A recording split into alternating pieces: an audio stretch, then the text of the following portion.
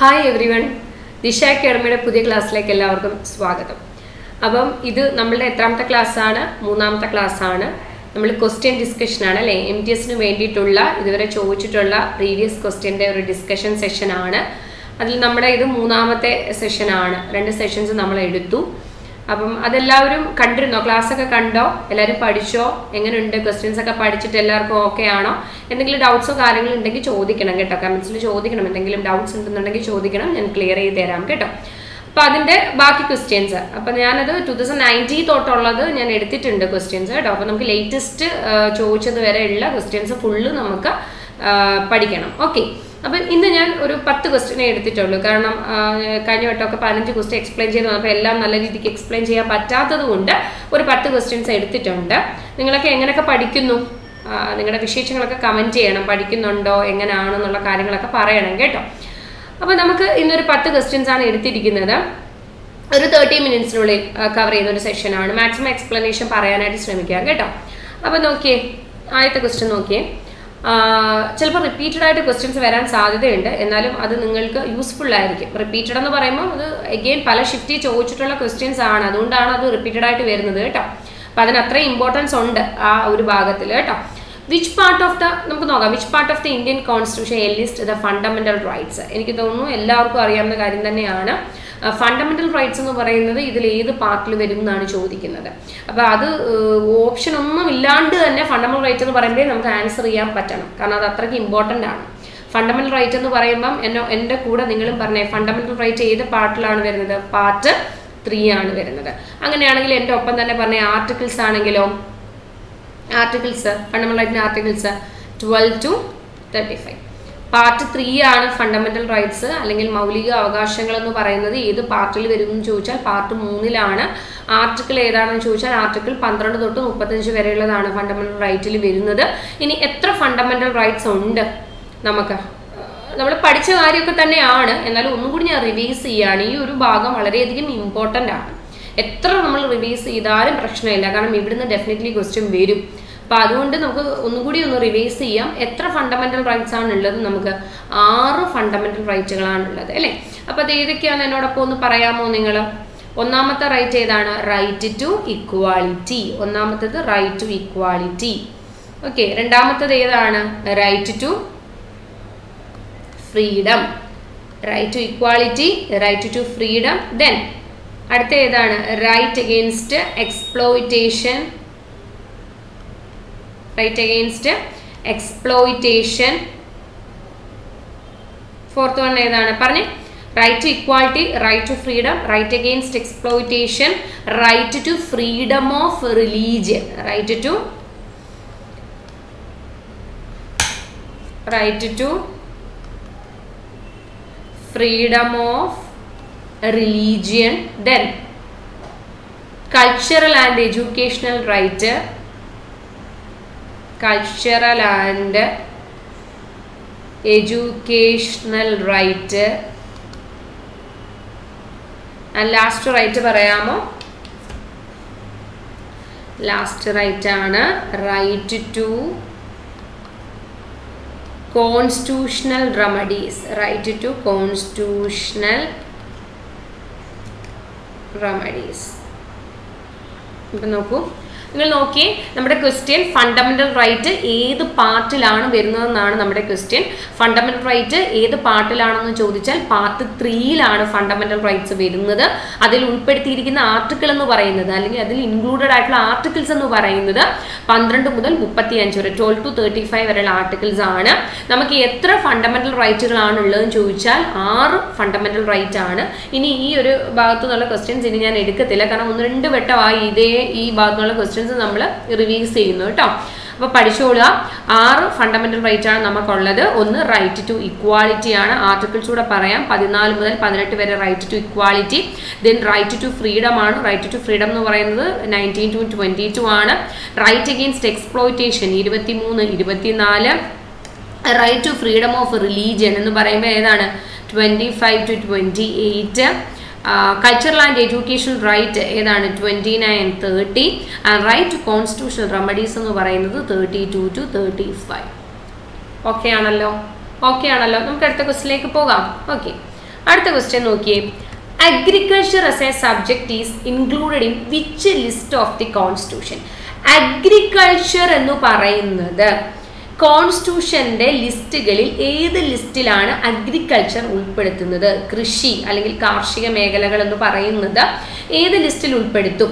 റെസ്റ്റുഡറി power ഉണ്ട് union list ഉണ്ട് state list ഉണ്ട് കൺകറി ലിസ്റ്റ് ഉണ്ട് അപ്പം നമ്മൾ ആദ്യം അറിയേണ്ടത് ലിസ്റ്റുകളെ പറ്റിയിട്ടാണ്. നോക്കുക ലിസ്റ്റുകളെ പറ്റിയിട്ട് പറയുന്നത് ഏത് ആർട്ടിക്കിളിലാണ് ലിസ്റ്റുകളെ പറ്റി പറയുന്നതെന്ന് ചോദിച്ചാൽ ആർട്ടിക്കിൾ ടു ഫോർട്ടി സിക്സിലാണ്. എന്താ ഏത് ആർട്ടിക്കിളിലാണ് ലിസ്റ്റുകളെ പറ്റി പറയുന്നത്?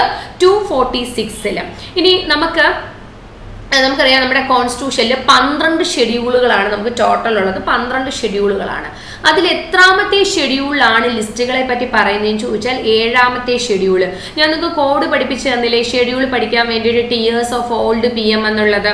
അപ്പം അതിൽ ഏഴാമത്തത് ഏതായിരുന്നു? ഓർമ്മയില്ലേ? T E A R S O F F federal provision federal provision ആണ് ഏഴാമത്തത്. ഏഴാമത്തെ ഫെഡറൽ പ്രൊവിഷൻ എന്ന് വെച്ചാൽ ലിസ്റ്റുകളാണെന്ന് ഞാൻ പറഞ്ഞു തന്നു നിങ്ങൾക്ക്. അതുകൊണ്ട് തന്നെ ലിസ്റ്റുകളെ പറ്റി പറയുന്നത് എത്രാമത്തെ ഷെഡ്യൂളിലാണെന്ന് ചോദിച്ചാൽ ഏഴാമത്തെ ഷെഡ്യൂളാണ് ലിസ്റ്റുകളെ പറ്റി പറയുന്നത്. ആർട്ടിക്കിൾ ഏതാ ഏതിലാണെന്ന് ചോദിച്ചാൽ ഇരുന്നൂറ്റി നാൽപ്പത്തി ആറിലാണ് അപ്പോൾ നമുക്ക് പ്രധാനമായും എത്ര ലിസ്റ്റുകൾ ഉണ്ടെന്ന് അറിയണം. നമുക്ക് മൂന്ന് ലിസ്റ്റുകളാണ് പ്രധാനമായും ഉള്ളത്. ഒന്ന് യൂണിയൻ ലിസ്റ്റ് ലിസ്റ്റ് വൺ എന്ന് പറയുന്നത് യൂണിയൻ ലിസ്റ്റ് ആണ്. ലിസ്റ്റ് ടു എന്ന് പറയുന്നത് രണ്ടാമത്തെ ലിസ്റ്റ് സ്റ്റേറ്റ് ലിസ്റ്റ് ആണ്. ദെൻ മൂന്നാമത്തെ ലിസ്റ്റ് തേർഡ് അല്ലെ മൂന്നാമത്തെ ലിസ്റ്റ് എന്ന് പറയുന്നത് കൺകറന്റ് ലിസ്റ്റ് ആണ്. ഏതാണ്? കൺകറന്റ് ലിസ്റ്റ് ഇങ്ങനെ പ്രധാനമായും മൂന്ന് ലിസ്റ്റുകളാണ് നമുക്ക് ഉള്ളത് ഓക്കെ അപ്പം യൂണിയൻ ലിസ്റ്റിൽ എത്ര സബ്ജക്റ്റുകൾ ഉണ്ടെന്ന് ചോദിച്ചാൽ നൂറ് സബ്ജക്റ്റുകളെ പറ്റിയിട്ടാണ് യൂണിയൻ ലിസ്റ്റിൽ പറയുന്നത്. നേരത്തെ തൊണ്ണൂറ്റിയേഴ് സബ്ജക്റ്റുകൾ മാത്രമേ ഉണ്ടായിരുന്നുള്ളൂ. ഇപ്പോൾ അത് നൂറ് സബ്ജക്റ്റുകളെ പറ്റി പറയുന്നുണ്ട്.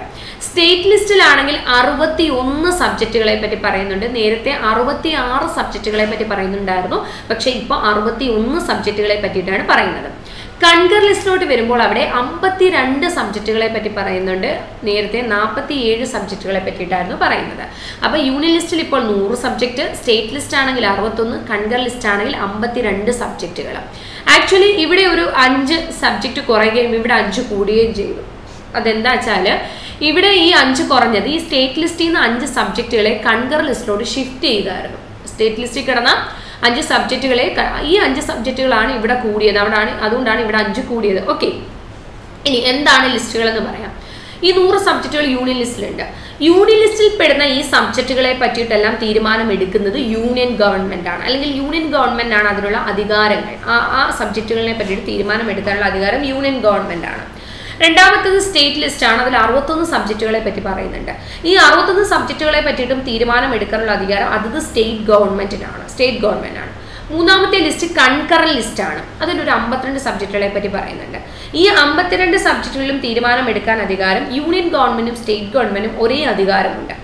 എന്ന് വെച്ചാൽ ഇപ്പൊ എന്തെങ്കിലും ഒരു ഡെഡ് ലോക്ക് അല്ലെങ്കിൽ ഒരു കൺഫ്യൂഷൻ എന്തെങ്കിലും കാര്യം വന്നാൽ ഫൈനൽ ഡിസിഷൻ എടുക്കുന്നത് യൂണിയൻ ഗവൺമെന്റ് തന്നെയായിരിക്കും. എന്നാൽ യൂണിയൻ ഗവൺമെന്റും സ്റ്റേറ്റ് ഗവൺമെന്റ് അവിടെ എന്തോ ഉണ്ട്? ആ ഒരേ അധികാരമുണ്ട് ഒരേ റൈറ്റ് ഉണ്ട്. ഒരു ഫൈനൽ ഡിസിഷൻ എടുക്കുന്നത് എന്തെങ്കിലും വന്നാൽ യൂണിയൻ ഗവൺമെന്റ് ആയിരിക്കും. ഇതാണ് ലിസ്റ്റുകൾ എന്ന് പറയുന്നത്. ഇനി നിങ്ങൾ ഒരു കാര്യം മനസ്സിലാക്കണം. ഈ മൂന്ന് ലിസ്റ്റിലും പെടാത്ത ചില വിഷയങ്ങളുണ്ട്. ഈ മൂന്ന് ലിസ്റ്റിലും പെടാത്ത ചില വിഷയങ്ങളിൽ തീരുമാനമെടുക്കാനുള്ള അധികാരം ഇന്ത്യൻ പാർലമെന്റിനാണ് ആർക്കാണ് അധികാരമുള്ളത്? ഇന്ത്യൻ പാർലമെന്റ് ഈ മൂന്ന് വിഷയങ്ങളിലും പെടാത്ത ചില കാര്യങ്ങളിൽ തീരുമാനം എടുക്കുന്നത് ഇന്ത്യൻ പാർലമെന്റ് ആണ് ആ ഇന്ത്യൻ പാർലമെന്റിന്റെ ആ അധികാരത്തെയാണ് നമ്മൾ റെസ്യൂഡറി പവർ എന്ന് പറയുന്നത് അല്ലെങ്കിൽ അവശിഷ്ട അധികാരം എന്ന് പറയും. ഈ റെസ്യൂഡറി പവറിനെ പറ്റിയിട്ട് ആർട്ടിക്കിൾ ടു ഫോർട്ടി എയ്റ്റിലാണ് പറയുന്നത്. ടു ഫോർട്ടി സിക്സ് എന്താണ് പറയുന്നത്? ലിസ്റ്റുകളെ പറ്റി പറയുന്നു. ടു ഫോർട്ടി എയ്റ്റ് പറയുന്നത് റെസ്യൂഡറി പവറിനെ പറ്റിയിട്ടാണ്. അവശിഷ്ട അധികാരങ്ങളെ പറ്റിയിട്ടാണ്. എന്താണ് റെസ്യൂഡറി പവർ? ഈ മൂന്ന് ലിസ്റ്റിലും പെടാത്ത വിഷയങ്ങളിൽ തീരുമാനം എടുക്കുന്നത് ഇന്ത്യൻ പാർലമെന്റ് ആണ് ആ ഇന്ത്യൻ പാർലമെന്റിന്റെ അധികാരത്തിനെയാണ് നമ്മൾ റെസ്യൂഡറി പവർ എന്ന് പറയുന്നത്. റെസ്യൂഡറി പവർ ഏത് ആർട്ടിക്കിളിലാണ് വരുന്നതെന്ന് ചോദിച്ചാൽ ഇരുന്നൂറ്റി നാൽപ്പത്തി എട്ടിലാണ് റെസ്യൂഡറി പവറിനെ പറ്റി പറയുന്നത്. ഇനി റെസ്യൂഡറി പവർ എന്ന് പറയുന്നതിന് ഒരു എക്സാമ്പിൾ ഞാൻ പറഞ്ഞുതരാം. ഇപ്പം സൈബർ ലോ എന്ന് പറയുന്നത്. സൈബർ ലോ സൈബർ നിയമങ്ങളുമായി ബന്ധപ്പെട്ട കാര്യങ്ങളെല്ലാം റെസ്യൂഡറി പവറിന്റെ അണ്ടറിൽ വരുന്നതാണ്. അവിടെ അതിന്റെ എല്ലാം തീരുമാനം എടുക്കുന്നത് ആരായിരിക്കും? ഇന്ത്യൻ പാർലമെന്റ് ആയിരിക്കും. മനസ്സിലായോ? ഈ സൈബർ ലോയുമായി ബന്ധപ്പെട്ട കാര്യങ്ങളെല്ലാം തീരുമാനം എടുക്കുന്നത് ആരാണെന്ന് ചോദിച്ചാൽ അത് ഇന്ത്യൻ പാർലമെന്റ് ആണ്. ആ അതാണ് റെസ്റ്റിബ്യൂട്ടറി പവർ എന്ന് പറയുന്നത്. അപ്പൊ നിങ്ങൾക്ക് ലിസ്റ്റുകളെ പറ്റിയിട്ട് ധാരണയായല്ലോ? മനസ്സിലായി കാണുമെന്ന് വിചാരിക്കുന്നു. ഇനി ഇവിടെ ചോദിച്ചിരിക്കുന്നത് സബ്ജക്ട് അഗ്രികൾച്ചർ സ്ഥിരമായിട്ട് കുറച്ച് കാര്യങ്ങൾ ഈ ലിസ്റ്റുകളിൽ നിന്ന് ചോദിക്കാറുണ്ട്. ഇപ്പൊ യൂണിയൻ ലിസ്റ്റിൽ പ്രധാനമായും നിങ്ങൾ യൂണിയൻ ലിസ്റ്റ് നൂറ് സബ്ജക്റ്റ് ഉണ്ടെങ്കിലും പ്രധാനമായും ചോദിക്കുന്ന ഒരു അഞ്ച് സബ്ജക്റ്റുകളുണ്ട് യൂണിയൻ ലിസ്റ്റിൽ വരുന്ന ഒരു അഞ്ച് സബ്ജക്റ്റുകൾ ഞാൻ പറഞ്ഞുതരാം. നിങ്ങൾ നോട്ട് ചെയ്തോളുക. യൂണിയൻ ലിസ്റ്റിൽ ഒരു അഞ്ച് സബ്ജക്റ്റ് വരും. ഏറ്റവും പ്രധാനപ്പെട്ട ഒന്നാണ് റെയിൽവേ റെയിൽവേ വരുന്നത് യൂണിയൻ ലിസ്റ്റിലാണ്. സെൻസസ് വരുന്നത് യൂണിയൻ ലിസ്റ്റിലാണ്. ഡിഫൻസ് വരുന്നത് യൂണിയൻ ലിസ്റ്റിലാണ്. ഓക്കെ ബാങ്കിങ് വരുന്നത് യൂണിയൻ ലിസ്റ്റിലാണ്. ഇൻഷുറൻസ് വരുന്നത് യൂണിയൻ ലിസ്റ്റിലാണ്. ഇൻകം ടാക്സ് വരുന്നത് യൂണിയൻ ലിസ്റ്റിലാണ്.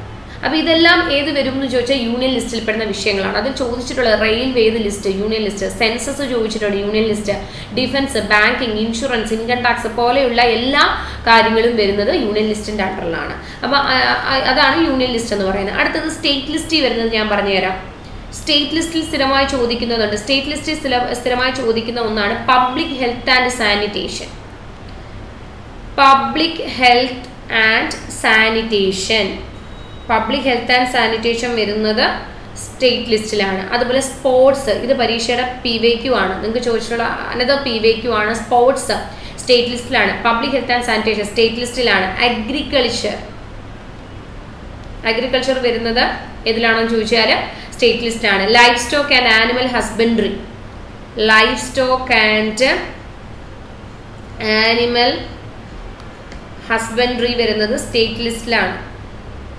ലോക്കൽ സെൽഫ് വരുന്നത് സ്റ്റേറ്റ് ലിസ്റ്റിലാണ് ഇത് ഞാൻ എല്ലാം പറയാത്തതെന്ന് വെച്ച് കഴിഞ്ഞാൽ പ്രധാനമായിട്ട് ചോയ് സ്പോർട്സ് ചോദിച്ചതാണ്. അഗ്രികൾച്ചർ ചോദിച്ചതാണ്. പബ്ലിക് ഹെൽത്ത് ആൻഡ് സാനിറ്റേഷൻ ചോദിച്ചിട്ടുണ്ട്.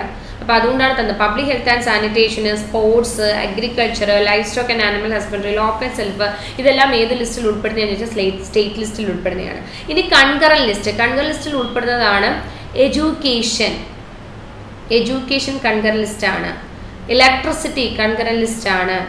ഫോറസ്റ്റ് കൺകറൽ ലിസ്റ്റാണ്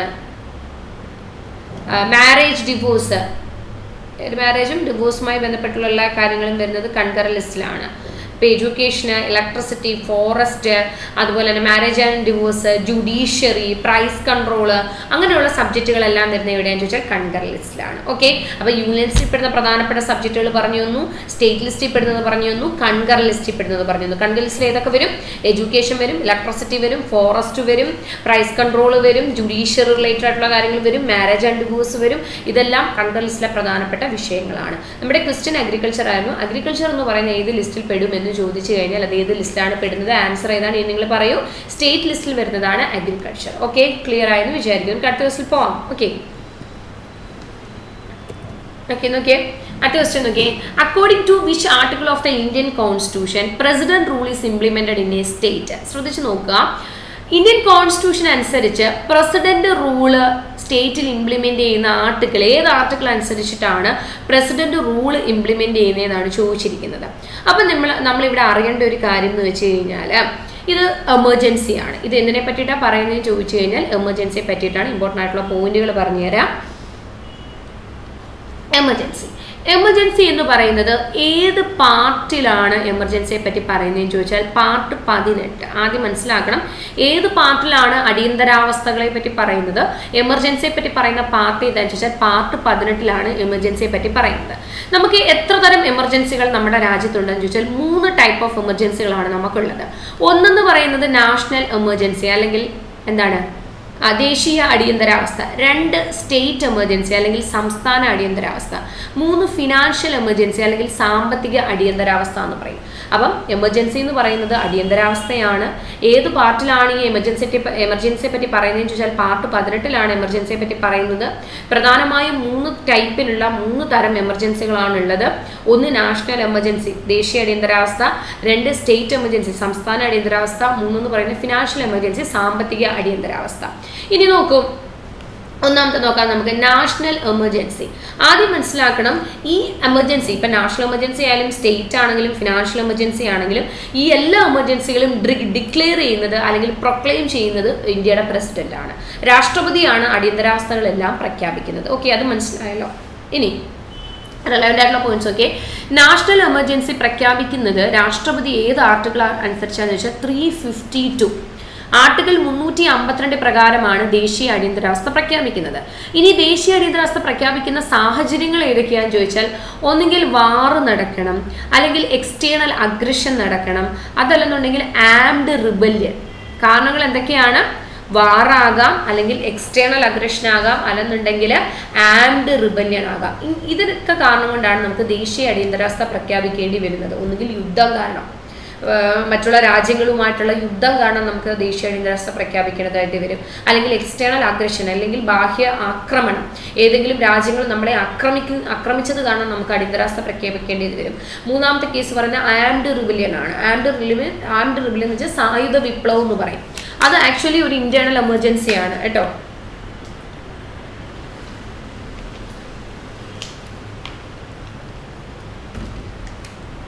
നോക്കിയേ ആംഡ് റിബലിയൺ എന്ന് പറയുന്നത് ആക്ച്വലി എന്താണ്? ഒരു ഇന്റേണൽ എമർജൻസിയുടെ കാറ്റഗറി നമ്മൾ സായുധ വിപ്ലവം എന്ന് വെച്ചാൽ രാജ്യത്തിന് ഉള്ളിൽ എന്തെങ്കിലും വിപ്ലവങ്ങൾ അല്ലെങ്കിൽ എന്താ പറയുക സമാധാന നില തകരാറിലാവുന്ന രീതിയിലുള്ള എന്തെങ്കിലും സംഭവങ്ങളോ സായുധ വിപ്ലവങ്ങളോ എല്ലാം രാജ്യത്തിനുള്ളിൽ നടക്കുന്ന കേസാണ് ഈ ആംഡ് റിബലിയൺ അപ്പോൾ അതൊരു ഇന്റേണൽ എമർജൻസി ആണ്. ബാക്കി വാറ് യുദ്ധം എക്സ്റ്റേണൽ അഗ്രഷൻ ഒക്കെ എക്സ്റ്റേണൽ എമർജൻസി ആണെന്ന് വേണമെങ്കിൽ നമുക്ക് പറയാം. അപ്പം ഇത്തരം സാഹചര്യങ്ങളിലാണ് ദേശീയ അടിയന്തരാവസ്ഥ പ്രഖ്യാപിക്കുന്നത്. Under article three fifty two ആരാണ് പ്രഖ്യാപിക്കുന്നത്? രാഷ്ട്രപതി. ഇനി രാഷ്ട്രപതിക്ക് അങ്ങനെ ഒരു ദിവസം രാവിലെ എഴുന്നിട്ട് ദേശീയ അടിയന്തരാവസ്ഥ പ്രഖ്യാപിക്കാൻ പറ്റുമോ പറ്റില്ല. റിട്ടേൺ റെക്കമെൻഡേഷൻ ക്യാബിനറ്റിന്റെ കയ്യിൽ നിന്ന് കിട്ടണം. ക്യാബിനറ്റിന്റെ കയ്യിൽ നിന്നും ഒരു റിട്ടേൺ റെക്കമെൻഡേഷൻ കിട്ടിയാൽ മാത്രമേ പ്രസിഡന്റിന് നാഷണൽ എമർജൻസി ഡിക്ലെയർ ചെയ്യാനായിട്ട് പറ്റൂ. ഇനി രാഷ്ട്രപതി മുന്നൂറ്റി അമ്പത്തിരണ്ട് പ്രകാരം നാഷണൽ എമർജൻസി ഡിക്ലെയർ ചെയ്ത് കഴിഞ്ഞാൽ within one month within one month അത് പാർലമെന്റ് അംഗീകരിച്ചിരിക്കണം. അപ്പൊ രാഷ്ട്രപതി ക്യാബിനറ്റിന്റെ നിർദ്ദേശപ്രകാരം മുന്നൂറ്റി അമ്പത്തിരണ്ട് പ്രകാരം നാഷണൽ എമർജൻസി ഡിക്ലെയർ ചെയ്താൽ അത് എന്ത് ചെയ്യണം? Within one month within one month എന്ത് ചെയ്തിരിക്കണം? അത് അപ്രൂവൽ ഇന്ത്യൻ പാർലമെന്റ് അപ്രൂവൽ ചെയ്തിരിക്കണം. വിതിൻ വൺ മന്ത് അത് അപ്രൂവൽ ചെയ്ത് കഴിഞ്ഞാൽ ഈ നാഷണൽ എമർജൻസി എന്ന് പറയുന്നത് ഇൻഡെഫിനിറ്റ് പീരീഡിലേക്കാണ് ഇത് എന്ത് ചെയ്യുന്നത്? ഡിക്ലെയർ ചെയ്യുന്നത്. പക്ഷേ ഇവിടെ ഒരു കാര്യം മനസ്സിലാക്കണം. Within one month parliament approval കൊടുത്താൽ ആറ് മാസം വരെ ഈ എമർജൻസി നിൽക്കും. പിന്നെ അടുത്ത അപ്രൂവൽ കൊടുക്കണം. ഇങ്ങനെ എവറി സിക്സ് മന്ത് അപ്രൂവൽ ഇതിന് ആവശ്യമുണ്ട്. ദേശീയ അടിയന്തരാവസ്ഥ പ്രഖ്യാപിക്കണമെങ്കിൽ ഓരോ സിക്സ് മന്ത് കൂടുമ്പോഴും പാർലമെന്റിന്റെ അപ്രൂവലോട് കൂടി ഇതിങ്ങനെ ഇൻഡെഫിനിറ്റ് പീരീഡിലേക്ക് പോകും. ഇത് രാഷ്ട്രപതി റിവോക്ക് ചെയ്യുന്നിടം വരെയും എന്നാണോ രാഷ്ട്രപതി ഇത് റിവോക്ക് ചെയ്യുന്നത്? അത്രയും വർഷം അതിനൊരു പർട്ടിക്കുലർ ടൈം ഇല്ല. ഇൻഡെഫിനിറ്റ് പീരീഡിലേക്ക് പോകാം അത്. പക്ഷേ ഓരോ ആറുമാസം കൂടുമ്പോഴും എന്ത് വേണം? പാർലമെന്റിന്റെ അപ്രൂവൽ കൃത്യമായിട്ട് കിട്ടിയിരിക്കണം. ഓക്കെ ഇനി മനസ്സിലാക്കേണ്ട ഒരു കാര്യം. നമ്മുടെ രാജ്യത്ത് എത്ര വട്ടം നാഷണൽ എമർജൻസി പ്രഖ്യാപിച്ചിട്ടുണ്ടെന്ന് അറിയാമോ? മൂന്ന് പ്രാവശ്യമാണ് പ്രഖ്യാപിച്ചിട്ടുള്ളത്. ആദ്യവട്ടം പ്രഖ്യാപിക്കുന്നത് ആയിരത്തി തൊള്ളായിരത്തി അറുപത്തിരണ്ട് ഒക്ടോബർ ഇരുപത്തി ആറിന് അപ്പൊ അറുപത്തിരണ്ട് എന്ന് പറയുമ്പോൾ ആര് പ്രഖ്യാപിച്ചു? രാഷ്ട്രപതി അല്ലേ ഡോക്ടർ എസ് രാധാകൃഷ്ണനാണ് പ്രഖ്യാപിക്കുന്നത്.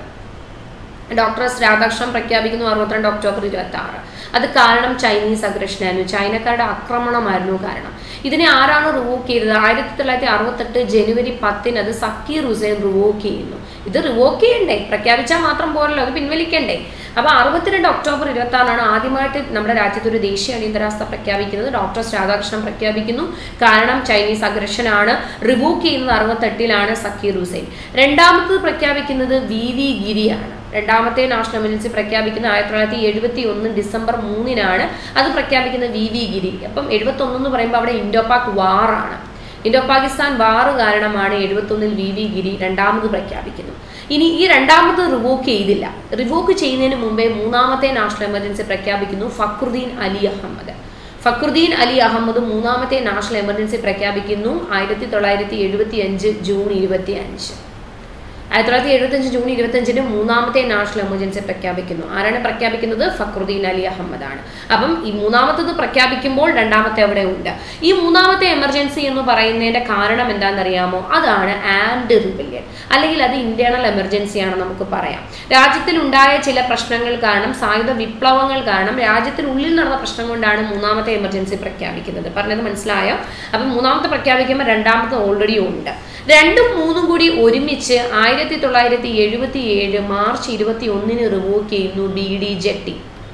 B D Jatti എന്ന് പറയുന്നത് ആക്ടിംഗ് പ്രസിഡന്റ് ആണെന്ന് മനസ്സിലാക്കുക. ആക്ടിംഗ് പ്രസിഡന്റ് ആയ ബി ഡി ജെട്ടിയാണ് ആയിരത്തി തൊള്ളായിരത്തി എഴുപത്തി ഏഴിൽ എന്ത് ചെയ്യുന്നത്? ഇത് റിവോക്ക് ചെയ്ത് കുറച്ച് ഡീറ്റെയിൽ ആയിട്ട് പറയണം എന്നുണ്ട് സമയത്തിന്റെ പരിധി മൂലം ഞാൻ നിങ്ങൾക്ക് റെലവെന്റ് ആയിട്ടുള്ള പോയിന്റ്സ് മാത്രം പറയുകയാണ്. അപ്പോൾ മൂന്ന് വട്ടമാണ് നാഷണൽ എമർജൻസി പ്രഖ്യാപിച്ചിരിക്കുന്നത്. അറുപത്തിരണ്ടിൽ രാധാകൃഷ്ണൻ ചൈനീസ് അഗ്രഷൻ അറുപത്തെട്ടിൽ അത് സക്കീർ ഹുസൈൻ റിവോക്ക് ചെയ്തു.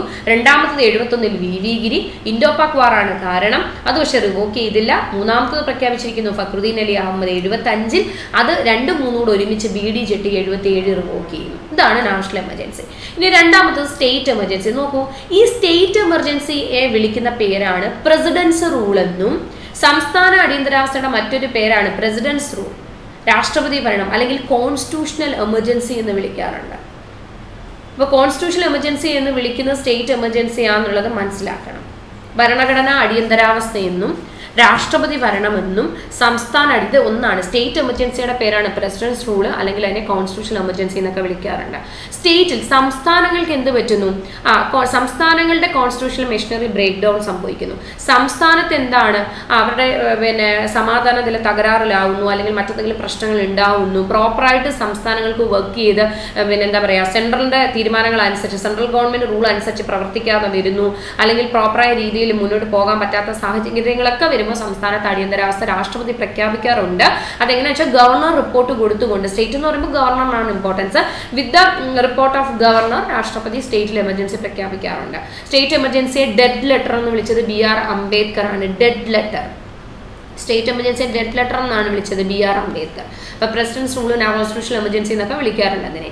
ഇനി ഈ സ്റ്റേറ്റ് എമർജൻസി രാഷ്ട്രപതി ഡിക്ലെയർ ചെയ്ത് കഴിഞ്ഞാൽ നാഷണൽ എമർജൻസി എന്ന് പറയുന്നത് എന്തായിരുന്നു? ഒരു മാസത്തിനുള്ളിൽ ഇന്ത്യൻ പാർലമെന്റ് അംഗീകരിക്കണം. സ്റ്റേറ്റ് എമർജൻസി എന്ന് വെച്ചാൽ within two month within two months state emergency രാഷ്ട്രപതി പ്രഖ്യാപിച്ചു കഴിഞ്ഞാൽ പാർലമെന്റ് അംഗീകരിക്കും. രണ്ട് മാസത്തിനുള്ളിൽ അത് അംഗീകരിച്ചു കഴിഞ്ഞാൽ മാക്സിമം സ്റ്റേറ്റ് എമർജൻസി മൂന്ന് വർഷമേ നിൽക്കത്തുള്ളൂ. നാഷണൽ എമർജൻസി എങ്ങനെയായിരുന്നു? ഇൻഡെഫിനിറ്റ് പീരീഡ് ആയിരുന്നു. സ്റ്റേറ്റ് എമർജൻസി എന്ന് പറയുമ്പോൾ മാക്സിമം ഒരു മൂന്ന് വർഷം വരെ സ്റ്റേറ്റിൽ എമർജൻസി നിൽക്കാൻ പറ്റത്തുള്ളൂ. സ്റ്റേറ്റ് എമർജൻസി മാക്സിമം മൂന്ന് വർഷം എവറി സിക്സ് മന്ത് പാർലമെന്റിന്റെ അപ്രൂവൽ അവിടെ ആവശ്യമുണ്ട്. ഇനി മൂന്നാമത്തെ എമർജൻസിയാണ് ഫിനാൻഷ്യൽ എമർജൻസി അല്ലെങ്കിൽ സാമ്പത്തിക അടിയന്തരാവസ്ഥ എന്ന് പറയും. ആർട്ടിക്കിൾ ത്രീ സിക്സ്റ്റി മുന്നൂറ്റി അറുപത് സ്റ്റേറ്റ് എമർജൻസി ആണെങ്കിൽ ആർട്ടിക്കിൾ മുന്നൂറ്റി അമ്പത്തി ആറ് സ്റ്റേറ്റ് നാഷണൽ എമർജൻസി മുന്നൂറ്റി അമ്പത്തിരണ്ട് സ്റ്റേറ്റ് മുന്നൂറ്റി അമ്പത്തി ആറ് ഫിനാൻഷ്യൽ എമർജൻസി മുന്നൂറ്റി അറുപത് അപ്പൊ ഇതുവരെയായിട്ട് നമ്മുടെ രാജ്യത്ത് ഫിനാൻഷ്യൽ എമർജൻസി പ്രഖ്യാപിച്ചിട്ടില്ല. ആരാണ് അതും പ്രഖ്യാപിക്കുന്നത്? രാഷ്ട്രപതിയാണ്. ഫിനാൻഷ്യൽ എമർജൻസി പ്രഖ്യാപിച്ചു കഴിഞ്ഞാൽ സ്റ്റേറ്റിന്റെ കൂട്ടാനെ വിതിൻ ടു മന്ത് പാർലമെന്റിന്റെ അപ്രൂവൽ കിട്ടിയിരിക്കണം. അത് ഇൻഡെഫിനിറ്റ് പീരീഡിലേക്ക് പോവുകയും ചെയ്യും. ഇൻഡെഫിനിറ്റ് ഇൻഡെഫിനിറ്റ് പീരീഡിലേക്ക് പോകും എവറി സിക്സ് മന്ത് അപ്രൂവൽ ഇവിടെ ആവശ്യമില്ല. ഇവിടെ സിക്സ് മന്ത് അപ്രൂവൽ ഒരു വട്ടം അപ്രൂവൽ കിട്ടിയാൽ ഇവിടെ എവറി സിക്സ് മന്ത് അപ്രൂവലിന്റെ ആവശ്യം ഫിനാൻഷ്യൽ എമർജൻസിയിൽ ഇല്ല. വിതിൻ ടു മന്ത് അത് അപ്രൂവൽ കിട്ടിയിരിക്കണം. അപ്രൂവൽ കിട്ടിയാൽ ഇൻഡെഫിനിറ്റ് പീരീഡിലേക്ക് റിവോക്ക് ചെയ്യുന്നിടം വരെയും ഫിനാൻഷ്യൽ എമർജൻസി പോകും. Every six month approval is not needed in financial emergency അപ്പം ഇവിടെ ക്വസ്റ്റ്യൻ എന്തായിരുന്നു? പ്രസിഡൻസ് റൂൾ പ്രസിഡൻസ് റൂൾ എന്ന് പറയുന്നത് സ്റ്റേറ്റ് എമർജൻസിയാണ് അല്ലെങ്കിൽ കോൺസ്റ്റിറ്റ്യൂഷണൽ എമർജൻസിയാണ് പ്രസിഡന്റ് റൂൾ എന്ന് വിളിക്കുന്നത്. പ്രസിഡന്റ് റൂൾ എന്നും കോൺസ്റ്റിറ്റ്യൂഷണൽ എമർജൻസിയും വിളിക്കുന്ന സ്റ്റേറ്റ് എമർജൻസിയാണ് സംസ്ഥാന അടിയന്തരാവസ്ഥ. അപ്പോൾ ഇവിടെ ആൻസർ ഏതാണ്? മുന്നൂറ്റമ്പത്തി ആറ് നാഷണൽ എമർജൻസി മുന്നൂറ്റമ്പത്തിരണ്ട്. സ്റ്റേറ്റ് മുന്നൂറ്റമ്പത്തി ആറ് ഫിനാൻഷ്യൽ എമർജൻസി മുന്നൂറ്റി അറുപത് ഓക്കെ അടുത്ത ക്വസ്റ്റിലേക്ക് പോകാം Which article of the Indian Constitution state that a law declared by the Supreme Court is to be binding all courts within the territory of India? Article one forty one ആണ് എന്താണത് law declared by the supreme court is to be binding on all court നമ്മുടെ ഇന്ത്യക്കുള്ളിൽ നമ്മുടെ പരമോന പരമോന്നത കോടതി എന്ന് പറയുന്ന ആരെയാണ്? സുപ്രീം കോടതിയാണ്. ആണല്ലോ? ഈ സുപ്രീം കോടതി എന്ന് പറയുന്നത് പറയുന്ന ഡിസിഷൻസ് ഇന്ത്യയ്ക്ക് ഉള്ളിലുള്ള എല്ലാ കോടതി ഇന്ത്യയുടെ അതിർത്തിക്കുള്ളിലുള്ള എല്ലാ കോടതികളും സുപ്രീം കോടതിയുടെ നിയമത്തിന് അധിഷ്ഠിതമാണ്. അല്ലെങ്കിൽ ഇന്ത്യക്കുള്ളിൽ വരുന്ന എല്ലാ കോടതികളും സുപ്രീം കോടതികളുടെ തീരുമാനം പാലിക്കേണ്ടവരാണ്. സുപ്രീം കോടതി എന്ന് പറയുന്നത് binding on all courts within the territory of India ഏത് നിയമം സുപ്രീം കോടതി ഇറക്കിയാലും അത് പാലിക്കാൻ അല്ലെങ്കിൽ അത് ബൈൻഡ് ചെയ്യാൻ ഇന്ത്യക്കുള്ളിലുള്ള എല്ലാ കോടതികളും ബാധ്യസ്ഥരാണ്. ആർട്ടിക്കിൾ നൂറ്റി നാൽപ്പത്തി ഒന്നിലാണെന്ന് പറയുന്നത്. ഓക്കെ ഇനി നൂറ്റി ഇരുപത്തി ഏഴ് ജസ്റ്റ് ഞാനൊന്ന് പറഞ്ഞുതരാം. നൂറ്റി ഇരുപത്തി ഏഴിൽ പറയുന്നത് അഡ്ഹോക് ജഡ്ജിന്റെ അപ്പോയിന്റ്മെന്റ് ആണ്. എന്താണ് പറയുന്നത്? അഡ്ഹോക് ജഡ്ജിന്റെ അപ്പോയിന്റ്മെന്റ് അഡ്ഹോക് ജഡ്ജസ് എന്ന് പറയുന്നത് ഒരു പർട്ടിക്കുലർ കേസിൽ അല്ലെങ്കിൽ ഒരു പർട്ടിക്കുലർ പർപ്പസിന് വേണ്ടിയിട്ട് ഒരു ലിമിറ്റഡ് പീരീഡിലേക്ക് അപ്പോയിന്റ് ചെയ്യുന്ന ആൾക്കാരെയാണ് നമ്മൾ എന്തെന്ന് വിളിക്കുന്നത്? അഡ്ഹോക് ജഡ്ജസ് എന്ന് പറയുന്നത്. പറഞ്ഞത് മനസ്സിലായോ? ആരാണ് അഡ്ഹോക് ജഡ്ജസ് എന്ന് പറയുന്നത്? ഒരു ലിമിറ്റഡ് പീരീഡിലേക്ക് ഒരു സെക്കൻഡേ ഒരു ലിമിറ്റഡ് പീരീഡിലേക്ക് നമ്മൾ ഓക്കെ ഒരു ലിമിറ്റഡ് പീരീഡിലേക്ക് എന്തെങ്കിലും ഒരു പർട്ടിക്കുലർ കേസിന് വേണ്ടിയിട്ട് ഒരു പർട്ടിക്കുലർ പർപ്പസിന് വേണ്ടി അപ്പോയിന്റ് ചെയ്യുന്ന ആൾക്കാരെയാണ് നമ്മൾ അഡ്ഹോക്ക് ജഡ്ജസ് എന്ന് പറയുന്നത്. ഈ അഡ്ഹോക്ക് ജഡ്ജസിന്റെ അപ്പോയിന്റ്മെന്റ് ആണ് എന്തിൽ പറയുന്നത്? ആർട്ടിക്കിൾ വൺ ട്വന്റി സെവനിൽ പറയുന്നത്. ഓക്കെ ഇനി ആർട്ടിക്കിൾ വൺ തേർട്ടി ത്രീ എന്ന് പറയുന്നത് ഈ ഹൈക്കോടതിയിൽ നിന്ന് എന്തെങ്കിലും സിവിൽ മാറ്റേഴ്സിൽ ഹൈക്കോടതിയിൽ എന്തെങ്കിലും അപ്പീൽ പോവുകയാണെങ്കിൽ സുപ്രീം കോടതി അതിലെടുക്കുന്ന ഡിസിഷനാണ് provision of applied jurisdiction of the uh, Supreme Court from High Court in the civil matters. Civil മാറ്റേഴ്സിൽ ഹൈക്കോടതിയിൽ നിന്ന് പോകുന്ന അപ്പീലിൽ സുപ്രീം കോടതി എന്ത് തീരുമാനം എടുക്കുന്നു അതാണ് ആർട്ടിക്കിൾ നൂറ്റി മുപ്പത്തി മൂന്നിൽ പറയുന്നത്. ഇനി ആർട്ടിക്കിൾ നൂറ്റി നാൽപ്പത്തി ഏഴ് എന്ന് പറയുന്നത് എന്താണെന്ന് ചോദിച്ചാൽ interpretation of constitution by the supreme court supreme കോർട്ടിന്റെ interpretation നമ്മുടെ ഭരണഘടനയിലുള്ള എല്ലാ കാര്യങ്ങളും എന്ത് നിയമം ഉണ്ടെങ്കിലും അതിൽ സുപ്രീം കോടതിക്ക് ഒരു ഇന്റർപ്രിട്ടേഷൻ ഉണ്ട്. Interpretation of supreme court interpretation of constitution by supreme court supreme court കോൺസ്റ്റിറ്റ്യൂഷനിൽ എടുക്കുന്ന ഇന്റർപ്രിട്ടേഷൻ ഭരണഘടനയിലെ എന്ത് നിയമങ്ങളിലും അവരെടുക്കുന്ന തീരുമാനങ്ങളാണ് നൂറ്റി നാൽപ്പത്തി ഏഴാമത്തെ ആർട്ടിക്കിളിൽ പറയുന്നത്. സോ നൂറ്റി ഇരുപത്തി ഏഴിൽ പറയുന്നത് അഡ്ഹോക്ക് ജഡ്ജസിന്റെ അപ്പോയിന്റ്മെന്റ് ആണ് നൂറ്റി മുപ്പത്തി മൂന്നിൽ പറയുന്നത് ഹൈക്കോടതിയിൽ നിന്ന് സിവിൽ മാറ്ററിൽ എന്തെങ്കിലും അപ്പീൽ പോകുമ്പോൾ സുപ്രീം കോടതി എടുക്കുന്ന തീരുമാനങ്ങളാണ് നൂറ്റി മുപ്പത്തി മൂന്ന് നൂറ്റി നാൽപ്പത്തി ഏഴിൽ പറയുന്നത് എന്താണ്? ആ കോൺസ്റ്റിറ്റ്യൂഷന്റെ ഇന്റർപ്രിട്ടേഷൻ സുപ്രീം കോടതി നടത്തുന്ന ഇന്റർപ്രിട്ടേഷൻ ആണ് നൂറ്റി നാൽപ്പത്തി ഏഴ് നൂറ്റി നാൽപ്പത്തി ഒന്ന് മനസ്സിലായല്ലോ? ടെറിട്ടറിക്കുള്ളിൽ നിന്നുള്ള എല്ലാ കോടതികളിലും സുപ്രീം കോടതി ഇറക്കുന്ന നിയമങ്ങൾ അവർക്ക് ബാധ്യസ്ഥരാണ് എന്നുള്ളതാണ് നൂറ്റി നാൽപ്പത്തി ഒന്നിൽ പറയുന്നത്. ഓക്കെ അടുത്ത ക്വസ്റ്റിലേക്ക് പോവാം. The constitution under article dash man the election commission mandates election commission conduct election the parliament and state legislature എന്ന് വെച്ചാൽ ഇലക്ഷൻ കമ്മീഷൻ ഒരുപാട് പ്രാവശ്യം റിപ്പീറ്റ് ചെയ്ത് ചോദിച്ചൊരു ക്വസ്റ്റ്യൻ ആണ് ഇലക്ഷൻ കമ്മീഷന്റെ ആർട്ടിക്കിൾ ത്രീ ട്വന്റി ഫോർ മുന്നൂറ്റി ഇരുപത്തി നാല് മുതൽ മുന്നൂറ്റി ഇരുപത്തി ഒമ്പത് വരെ ഇലക്ഷൻ കമ്മീഷനെ പറ്റിയിട്ടാണ് പറയുന്നത്. മുന്നൂറ്റി ഇരുപത്തിനാല് തൊട്ട് മുന്നൂറ്റി ഇരുപത്തി ഒമ്പത് വരെ ആരെയാണ് പറ്റിയിട്ടാണ് പറയുന്നത്?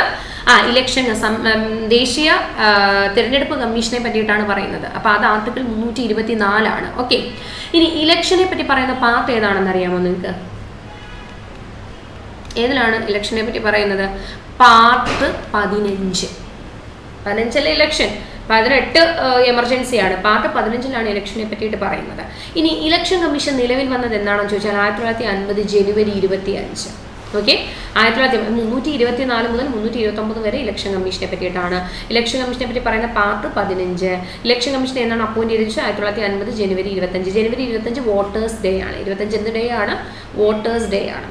ഇനി ഇലക്ഷൻ കമ്മീഷനിൽ എത്ര പേരുണ്ട്? മൂന്ന് മെമ്പർ ബോഡിയാണ് ഇലക്ഷൻ കമ്മീഷൻ ഒരു ചീഫ് ഇലക്ഷൻ കമ്മീഷണേഴ്സും രണ്ട് ഇലക്ഷൻ കമ്മീഷണർമാരും കാലാവധി ചോദിച്ചാൽ ആറ് അല്ലെങ്കിൽ അറുപത്തഞ്ച് വയസ്സ് വിച്ച് എവർ ഈസ് ഏർലിയർ ഒന്നുകിൽ ആറ് വർഷം അല്ലെങ്കിൽ അറുപത്തഞ്ച് വയസ്സ്. ഏതാണോ ആദ്യം കംപ്ലീറ്റ് ആവുന്നത് അത്. എത്ര പേരുണ്ടെന്ന് ചോദിച്ചാൽ മൂന്ന് പേര്. ഒരു ചീഫ് ഇലക്ഷൻ കമ്മീഷണറും രണ്ട് ഇലക്ഷൻ കമ്മീഷണേഴ്സും ആണ് എവിടെ ഉള്ളത്? ഇലക്ഷൻ കമ്മീഷനിലുള്ളത് ഇനി ഇലക്ഷൻ കമ്മീഷൻ നടത്തുന്ന ഇലക്ഷൻ എവിടേക്കാണ് നിങ്ങൾ നോക്കിയേ? പാർലമെന്റ് ഇലക്ഷന് പ്രസിഡന്റിന്റെത് vice പ്രസിഡന്റിന്റെത് very important point state legislative assembly state legislative അസംബ്ലിയിലോട്ടുള്ള ഇലക്ഷനും പാർലമെന്റിന്റെ ഇലക്ഷനും പ്രസിഡന്റിന്റെ ഇലക്ഷനും വൈസ് പ്രസിഡന്റ് ഇലക്ഷനും ഇതെല്ലാം നടത്തുന്നത് ഇലക്ഷൻ കമ്മീഷനാണ് അപ്പോൾ നിങ്ങൾ ചോദിക്കും സ്റ്റേറ്റ് ഇലക്ഷൻ കമ്മീഷന്റെ ജോലി എന്താണ്? സ്റ്റേറ്റ് ഇലക്ഷൻ കമ്മീഷൻ നടത്തുന്നത് ലോക്കൽ സെൽഫ് ബോഡീസ് ആണ്. പഞ്ചായത്ത് ഇലക്ഷന് തദ്ദേശ സ്വയംഭരണ സ്ഥാപന ഇലക്ഷനൊക്കെയാണ് സ്റ്റേറ്റ് ഇലക്ഷൻ കമ്മീഷൻ നടത്തുന്നത്. സ്റ്റേറ്റ് ലെജിസ്ലേറ്റീവ് അസംബ്ലിയിലെ ഇലക്ഷൻ നടത്തുന്നത് ഇലക്ഷൻ കമ്മീഷൻ ഓഫ് ഇന്ത്യയാണ്. So parliament president vice president ഇതെല്ലാം നടത്തുന്നത് ഇലക്ഷൻ കമ്മീഷൻ ഓഫ് ഇന്ത്യയാണ്. ഇനി ഒരു ഒരു കാര്യം കൂടെ അവിടെ പറഞ്ഞോട്ടെ. അവിടെ ഇലക്ഷൻ കമ്മീഷനെ ഡീറ്റെയിൽ ആയിട്ട് പറയാനുണ്ട്. എന്നാൽ ഒരു ആർട്ടിക്കിളൂടെ അവിടെ ഓർത്തിരിക്കുക. മുന്നൂറ്റി ഇരുപത്തി ആറാമത്തെ ആർട്ടിക്കിളാണ് യൂണിവേഴ്സൽ അഡൽറ്റ് ഫ്രാഞ്ചൈസി ഇത് പരീക്ഷയ്ക്ക് ചോദിക്കും. എന്താണ് യൂണിവേഴ്സൽ അഡൽറ്റ് ഫ്രാഞ്ചൈസി പ്രായപൂർത്തി വോട്ടവ സാർവത്രിക പ്രായപൂർത്തി വോട്ടവകാശം. വോട്ടവകാശമില്ലേ? അതാണ് പറയുന്നത്. വോട്ട് ചെയ്യാനുള്ള റൈറ്റ് പതിനെട്ട് വയസ്സ്. എന്നാൽ ഇത് നേരത്തെ ഇരുപത്തൊന്ന് വയസ്സായിരുന്നു. ഇരുപത്തൊന്ന് വയസ്സിൽ നിന്നും പതിനെട്ട് വയസ്സാക്കിയത് ആക്കി മാറ്റിയത് എൺപത്തി ഒമ്പത് മുതലാണ്. ഇരുപത്തൊന്ന് വയസ്സിൽ നിന്ന് പതിനെട്ട് വയസ്സാക്കിയത്. അത് ഏത് അമെൻമെന്റ് ആക്ട് പ്രകാരമാണ്? അറുപത്തി ഒന്നാമത്തെ അമെൻമെന്റ് ആക്ട് ആയിരത്തി തൊള്ളായിരത്തി എൺപത്തി എട്ടിലൂടെയാണ് വോട്ടിംഗ് പ്രായം ഇരുപത്തൊന്നിൽ നിന്ന് പതിനെട്ടാക്കിയത്. എൺപത്തൊമ്പത് മുതൽ വോട്ടിംഗ് പ്രായം പതിനെട്ട് വയസ്സ്. അതാക്കിയ പ്രൈം മിനിസ്റ്ററിനെ ചോദിക്കാറുണ്ട്. രാജീവ് ഗാന്ധിയാണ് അത് കൊണ്ടുവരുന്നത്. പറഞ്ഞ മനസ്സിലായോ? അപ്പൊ സാർവ പ്രായപൂർത്തി വോട്ടവകാശം സാർവത്രിക പ്രായപൂർത്തി വോട്ടവകാശമാണ് ആർട്ടിക്കിൾ മുന്നൂറ്റി ഇരുപത്തി ആറിൽ പറയുന്നത്. മുന്നൂറ്റി ഇരുപത്തിനാല് മുതൽ മുന്നൂറ്റി ഇരുപത്തി ഒമ്പത് വരെ ആരെ പറ്റിയിട്ടാണ് പറയുന്നത്? ഇലക്ഷൻ കമ്മീഷനെ പറ്റിയിട്ടാണ് പറയുന്നത്. ഓക്കെ അടുത്ത ആർട്ടിക്കിൾ അടുത്ത ക്വസ്റ്റ്യൻ നോക്കിയേ. Which article of the constitution deals with the formation of new state പുതിയ സംസ്ഥാന രൂപീകരണം പുതിയൊരു സംസ്ഥാനത്തിന്റെ രൂപീകരണത്തെ പറ്റി പറയുന്ന ആർട്ടിക്കിൾ ഏതാണെന്ന്? ആർട്ടിക്കിൾ മൂന്നിലാണ് ഫോർമേഷൻ ഓഫ് ന്യൂ സ്റ്റേറ്റിനെ പറ്റി പറയുന്നത്. ആക്ച്വലി നമ്മുടെ പാർട്ട് ഒന്നെന്ന് പറയുന്നത്. പാർട്ട് ഒന്ന് നമുക്ക് ഇരുപത്തഞ്ച് പാർട്ടുകളില്ലേ കോൺസ്റ്റിറ്റ്യൂഷനിൽ അതിൽ ഒന്നാമത്തെ പാർട്ടിൽ പറയുന്നത് യൂണിയൻ ആൻഡ് ഇറ്റ്സ് ടെറിട്ടറീസ് ആണ്. Union and its territory Indian യൂണിയനും അതിന്റെ അതിർത്തികളും. അതിൽ വരുന്നത് ആർട്ടിക്കിളുകൾ പാർട്ടിനുള്ളിലാണല്ലോ ആർട്ടിക്കിൾ വരുന്നത്. ഒന്നാമത്തെ പാർട്ട് യൂണിയൻ ആൻഡ് ഇന്ത്യൻ യൂണിയനും അതിന്റെ അതിർത്തികളും. അതിൽ വരുന്ന ആർട്ടിക്കിളാണ് ഒന്ന് തൊട്ട് നാല് വരെയുള്ള ആർട്ടിക്കിളുകൾ.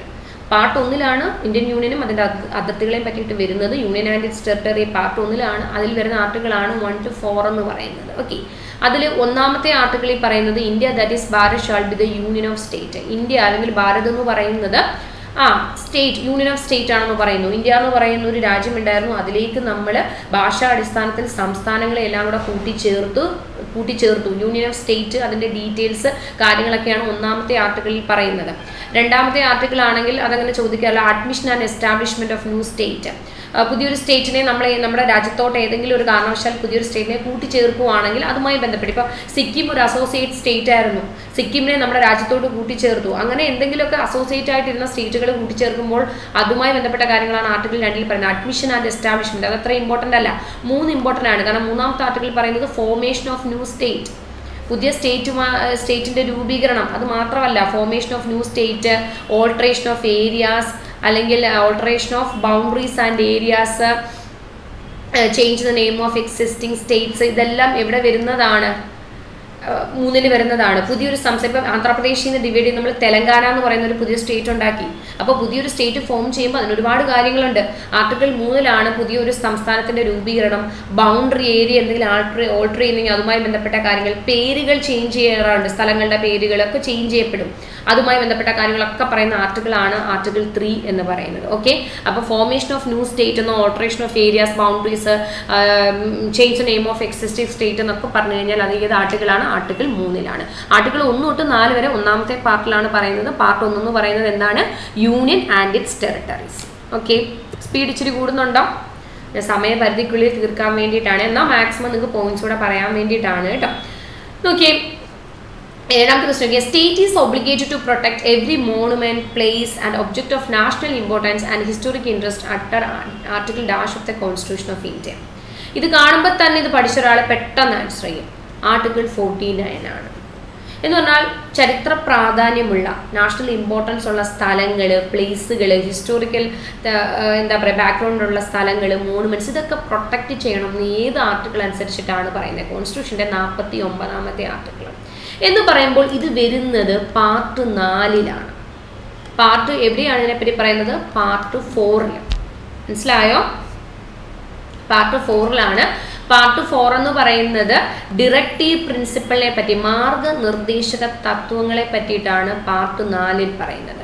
ഇവിടെ ആർട്ടിക്കിൾ ഇത് എത്ര തൊട്ട് എവിടെ വരെ ഞാൻ ചോദിച്ചാൽ മുപ്പത്തി ആറ് മുതൽ അമ്പത്തി ഒന്ന് വരെ. ആർട്ടിക്കിൾ മുപ്പത്തി ആറ് തൊട്ട് അമ്പത്തി ഒന്ന് വരെ പാർട്ട് നാലിലാണ് പറയുന്നത്. പാർട്ട് നാലെന്ന് പറയുന്നത് ഡയറക്റ്റീവ് പ്രിൻസിപ്പിൾ ആണ്. അപ്പോൾ ഈ ഡയറക്റ്റീവ് പ്രിൻസിപ്പിൾ എന്ന് പറയുന്ന ഒരു ഐഡിയ നമ്മൾ എവിടെ നിന്നാണ് ബോറോ ചെയ്തതെന്ന് ചോദിച്ചാൽ അയർലൻഡിൽ നിന്ന് ബോറോ ചെയ്ത ഐഡിയ ആണ്. ഇവിടെ ആക്ച്വലി ഡയറക്റ്റീവ് പ്രിൻസിപ്പിളെ പറ്റി ഒരു ഡീറ്റെയിൽ ആയിട്ട് തന്നെ പറയാനുണ്ട്. കാരണം എന്താണ് ഈ മാർഗനിർദ്ദേശക തത്വങ്ങൾ? അതിൽ എന്തൊക്കെ കാര്യങ്ങളാണ് ഉൾപ്പെടുത്തിയിട്ടുള്ളത്? അതിൽ വരുന്ന ആർട്ടിക്കിൾസുകൾ ഓരോന്ന് ഡീറ്റെയിൽ ആയിട്ട് തന്നെ പറയേണ്ടതായിട്ടുണ്ട് കേട്ടോ. അപ്പം ഇപ്പോൾ അത് ഡീറ്റെയിൽ ആയിട്ട് പറഞ്ഞിരുന്ന ബാക്കി ക്വസ്റ്റ്യൻസ് പറയാൻ പറ്റത്തില്ല. അപ്പോൾ ജസ്റ്റ് നിങ്ങൾ മനസ്സിലാക്കുക പാർട്ട് നാലിലാണ് ഡയറക്റ്റീവ് പ്രിൻസിപ്പൽ അയർലൻഡിൽ നിന്നാണ് ഇങ്ങനെ ഒരു ഐഡിയ നമ്മൾ ബോറോ ചെയ്തിരിക്കുന്നത്. മുപ്പത്തി ആറ് മുതൽ അമ്പത്തൊന്ന് വരെയുള്ള ആർട്ടിക്കിൾ ഡയറക്റ്റീവ് പ്രിൻസിപ്പിളിൽ വരുന്നതാണ്. ഇത് കുറേ നിർദ്ദേശങ്ങൾ തരുന്നതാണ്. എന്ന് വെച്ചാൽ ഇന്ത്യൻ കോൺസ്റ്റിറ്റ്യൂഷൻ ഫ്രെയിം ചെയ്തപ്പോൾ ഫ്രെയിം ചെയ്ത ആൾക്കാർ ഫ്രെയിമേഴ്സ് അവരുടെ കുറേ പോളിസീസ് അല്ലെങ്കിൽ guidelines to future government future ഗവൺമെന്റിന് കൊടുക്കുന്ന കുറച്ച് ഗൈഡ് ലൈൻസും കുറച്ച് ഐഡിയാസും ആണ്. ഇവരുടെ ഡ്രീമാണ് ഇവർ ഡയറക്റ്റീവ് പ്രിൻസിപ്പിളായിട്ട് ഉൾപ്പെടുത്തിയിരിക്കുന്നത്. ഈ ഡയറക്റ്റീവ് പ്രിൻസിപ്പിളിൽ പറഞ്ഞിരിക്കുന്ന മുക്കാൽ കാര്യങ്ങളും ശതമാനം കാര്യങ്ങളും ഇന്ത്യയിൽ നടപ്പിലാക്കാത്ത കാര്യങ്ങളാണ്. ഈ ആർട്ടിക്കിളിൽ പറയുന്ന കാര്യങ്ങൾ. അതുകൊണ്ട് തന്നെ ഡയറക്റ്റീവ് പ്രിൻസിപ്പിൾ എന്ന് പറയുന്നത് നോൺ ജസ്റ്റിസിബിൾ ആണ്. ഫണ്ടമെന്റൽ റൈറ്റ് എന്ന് പറയുന്നത് ജസ്റ്റിസിബിൾ ആണ്. കാരണം ഫണ്ടമെന്റൽ റൈറ്റ് വയലേറ്റ് ചെയ്യപ്പെട്ടാൽ നമുക്ക് കോടതിയെ സമീപിക്കാം. ഡയറക്റ്റീവ് പ്രിൻസിപ്പിൾ വയലേറ്റ് ചെയ്യുന്ന പറഞ്ഞാൽ നമുക്ക് കോടതിയെ സമീപിക്കാൻ പറ്റില്ല. കാരണം ഡയറക്റ്റീവ് പ്രിൻസിപ്പിളിൽ പറയുന്ന മുക്കാൽ കാര്യങ്ങളും നടപ്പിലാക്കാത്ത കാര്യങ്ങളാണ്. ഫ്രെയിമേഴ്സ് അവരുടെ ഐഡിയാസ് അവരുടെ ഒരു ഗൈഡ് ലൈൻസ് കൊടുക്കുകയാണ് ഫ്യൂച്ചർ ഗവൺമെന്റിന് ഇങ്ങനെയൊക്കെ ആണെങ്കിൽ ബെറ്റർ ആയിരിക്കും. ഒരു രാജ്യം ബെറ്റർ ആയിട്ട് വർക്ക് ചെയ്യാൻ വേണ്ടിയിട്ടുള്ള പോളിസി അല്ലെങ്കിൽ ഗൈഡ് ലൈൻസ് കൊടുക്കുന്നതാണ് ഡയറക്റ്റീവ് പ്രിൻസിപ്പിൾ എന്ന് പറയുന്നത്. അതിൽ നാൽപ്പത്തൊമ്പതാമത്തെ ആർട്ടിക്കിളിലാണ് എന്ത് പറയുന്നത്? ഹിസ്റ്റോറിക്കൽ മോണുമെന്റ്സ് പ്രൊട്ടക്ട് ചെയ്യുക അല്ലെന്നുണ്ടെങ്കിൽ നാഷണൽ ഇമ്പോർട്ടൻസ് ഉള്ള കാര്യങ്ങൾ പ്രൊട്ടക്ട് ചെയ്യുക എന്നൊക്കെ പറയുന്നത് ആർട്ടിക്കിൾ ഫോർട്ടി നയനിലാണ് ഓക്കെ അത് ഡീറ്റെയിൽ ആയിട്ട് ഇത് പാർട്ട് ഫോറിനെ പറ്റിയിട്ട് ഞാൻ ക്ലാസ് നിങ്ങൾക്ക് എടുത്ത് തരാം. കേട്ടോ? അടുത്ത ക്വസ്റ്റ്യൻ നോക്കിയേ. Which part of the constitution related to the അമെൻമെന്റ് in the constitution അമെൻമെന്റിനെ പറ്റി ഏത് പാർട്ടി പറയുന്നു? ഇപ്പൊ ഞാൻ പറഞ്ഞില്ലേ പാർട്ട് പതിനഞ്ച് നമ്മളിന്ന് പഠിച്ചു. എന്താണ്? പാർട്ട് പതിനഞ്ച് എന്താണ്? എലക്ഷൻ പാട്ട് പതിനെട്ട് എന്താണ്? എമർജൻസി ഇപ്പം നമ്മൾ പറഞ്ഞില്ലേ ഇലക്ഷനെ പറ്റി പറയുന്നത് പാട്ട് പതിനഞ്ചിലാണ് എമർജൻസിയെ പറ്റി പറയുന്ന പാർട്ട് എയ്റ്റീനിലാണ് എന്നാൽ അമൻമെൻസിനെ പറ്റി പറയുന്ന പാർട്ട് എന്ന് വെച്ചാൽ പാർട്ട് ട്വന്റി ഇത് വളരെ ഇമ്പോർട്ടന്റ് ആണ്. അമൻമെന്റുകളെ പറ്റി പറയുന്ന പാർട്ട് ട്വന്റി ആർട്ടിക്കിൾ ചോദിച്ചാൽ ആർട്ടിക്കിൾ മുന്നൂറ്റി അറുപത്തി എട്ടിലാണ് അമൻമെന്റിനെ പറ്റി പറയുന്നത്. പാർട്ട് ഏതാണ്?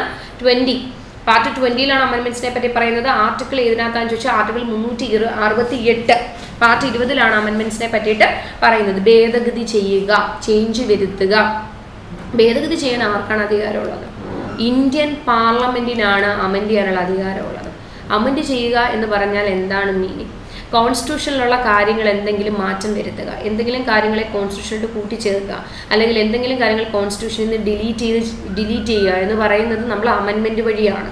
അമെൻമെന്റ് ആക്റ്റുകളുണ്ട് ഭേദഗതി നിയമങ്ങൾ പാസ്സാക്കി അതിലൂടെയാണ് നമ്മൾ ഭേദഗതികൾ ചെയ്യുന്നത്. ഭേദഗതി പ്രധാനമായും മൂന്ന് രീതിയിലാണ് ചെയ്യാൻ പറ്റുക. ഭേദഗതി ചെയ്യുന്ന നമുക്ക് ഏറ്റവും എളുപ്പത്തിൽ ചെയ്യാൻ പറ്റുന്ന കാര്യമല്ല.